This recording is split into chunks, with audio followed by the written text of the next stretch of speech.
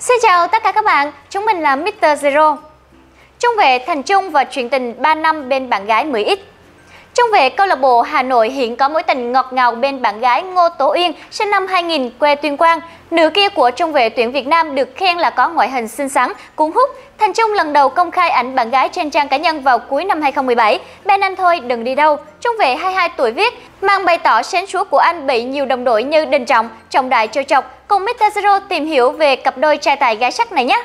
Và Kim Trinh xin chúc cho tất cả các bạn có một năm mới an khang, thịnh vượng, vạn sự như ý. Và đừng quên bấm subscribe kênh youtube, like fanpage bóng đá hài hước để nhận ngay những thông tin mới nhất đến từ Mr. Zero các bạn nhé.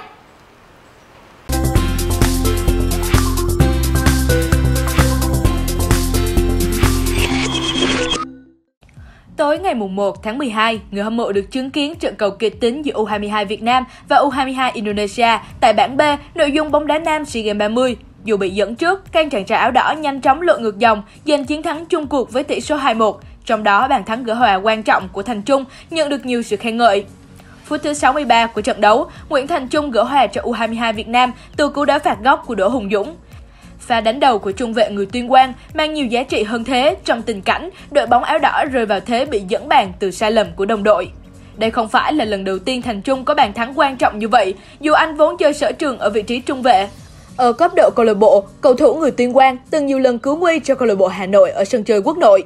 Thành Trung cùng lứa cầu thủ với Quang Hải nhưng chặng đường đến với thành công không hề suôn sẻ. Cầu thủ 9X cũng có tuổi thơ khá cơ cực. Trả lời với báo chí, bà Nguyễn Thị Ánh Tuyết, mẹ đẻ của Thành Trung từng tiết lộ. Trung vốn rất thiếu thốn tình cảm của bố từ nhỏ. Năm 10 tuổi, Thành Trung cùng mẹ xuống Hà Nội để theo đuổi giấc mơ bóng đá. Bà Ánh thuê cửa hàng, vừa bán hoa, vừa bán nước trang trải cuộc sống.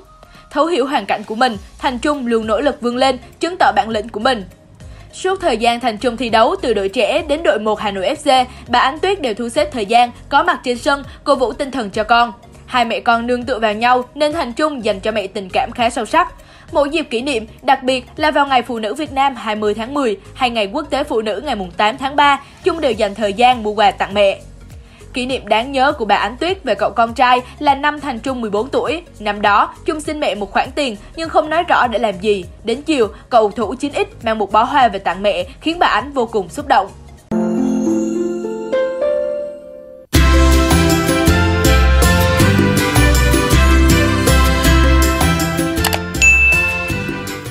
Không chỉ được biết đến là người con hiếu thảo, trung vệ câu lạc bộ Hà Nội hiện có mối tình ngọt ngào bên bạn gái Ngô Tố Uyên, sinh năm 2000, quê Tuyên Quang. Đôi trẻ bên nhau tới nay đã được gần 3 năm, nữ kia của trung vệ tuyển Việt Nam được khen là có ngoại hình xinh xắn, cuốn hút. Thành Trung lần đầu công khai ảnh bạn gái trên trang cá nhân vào cuối năm 2017. Bên anh thôi, đừng đi đâu, trung vệ 22 tuổi viết. Màn bày tỏ xến xúa của anh được nhiều đồng đội như Đình Trọng, Trọng Đại trêu chọc. Tố Uyên từng chia sẻ rằng cô lần đầu chạm mặt Thành Trung ở một quán cà phê tại Tuyên Quang. Thay vì hình ảnh soái ca sơ mi trắng như mười ít nghĩ, Trung giản dị, diện áo phông, quần đùi và đôi dép lê. Bên cạnh đó, một chi tiết nhỏ của chàng trung vệ khiến cô nhớ mãi. Anh Trung không gọi là hạt hướng dương mà nói là đĩa hoa mặt trời. Gu thời trang của cô rất hiện đại, trẻ trung và năng động. Bạn gái Nguyễn Thành Trung không đóng khung theo một phong cách thời trang cố định, cô luôn thay đổi để làm mới mình. Mái tóc đen dài nữ tính là điểm nổi bật vẻ ngoài của Tố Uyên. Tô Uyên cũng là chỗ dựa tinh thần vững chắc cho bạn trai, cô luôn ra sân cổ vũ Thành Trung trong những trận đấu.